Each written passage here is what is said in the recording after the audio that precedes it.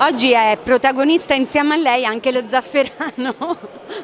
Lo zafferano c'è la storia che parte dal Medio Oriente fino a... Qui c'è una storia di uno, un uomo un po' curioso che ama lo zafferano, questa è, è un'altra cosa.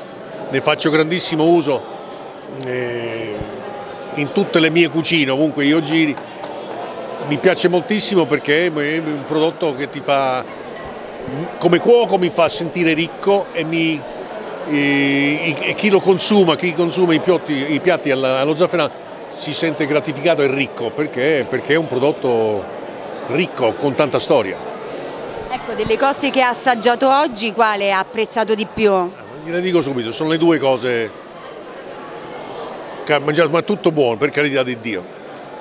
Al primo posto la mamma di tutte le polpette, le pallotte cacio ovo qui un po' più ricche perché ci hanno messo lo zafferano, ma io faccio un corso sulle, di otto ore sulle polpette, questa è la mamma di tutta. La seconda cosa, perché è proprio tradizione, era la zuppetta di ceci, irresistibile, il gelato per carità del gelato.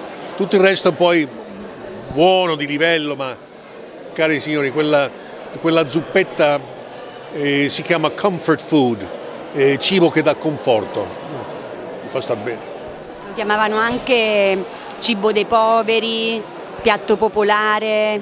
Quanto è attuale oggi? Sì, io faccio moltissima cucina di recupero, eh, tantissimi piatti, ma dico in giro per il mondo, ristoranti blasonati, col pane raffermo.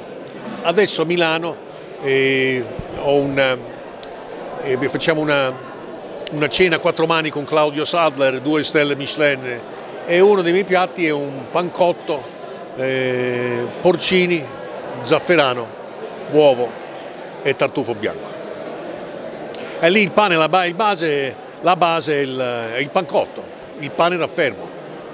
Là dove c'è stata povertà c'è più gusto perché la gente si deve ingegnare no, a dare gusto con niente.